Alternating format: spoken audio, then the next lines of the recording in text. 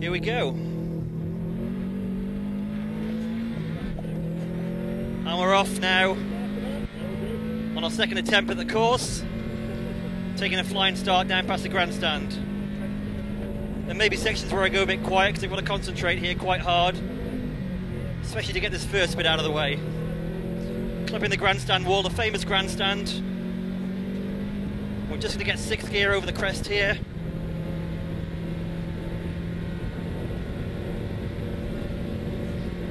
Really quick hug on the inside there, trying to be as smooth as we can.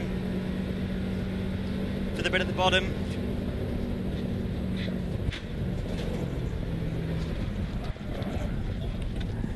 And the biggest moment of my life there, through the bump.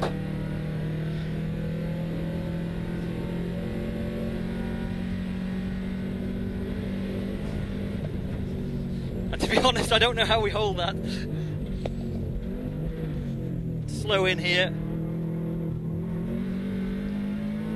And fast out. You okay after that? Yeah, we're great. How are you doing? Excuse my French, sorry boys.